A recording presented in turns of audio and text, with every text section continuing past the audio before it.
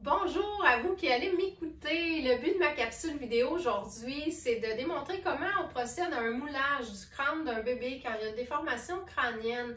Donc, j'ai ma petite Léa qui va me servir de démo. J'utilise une bande thermoplastique que je mets dans l'eau chaude, ça ramollit très rapidement. Puis quand la, bande elle est molle, on la laisse refroidir.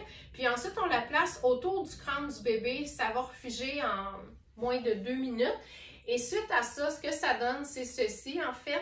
Et puis, euh, je vais faire la photocopie. Après ça, je vais tracer des petites lignes. On a des petits points de repère. Puis, ça va permettre d'objectiver, en fait, le type de déformation, euh, le niveau aussi euh, de la déformation. Est-ce que c'est léger? Est-ce que c'est modéré? Est-ce que c'est sévère? Puis, ça permet de faire un bon suivi aussi auprès du médecin.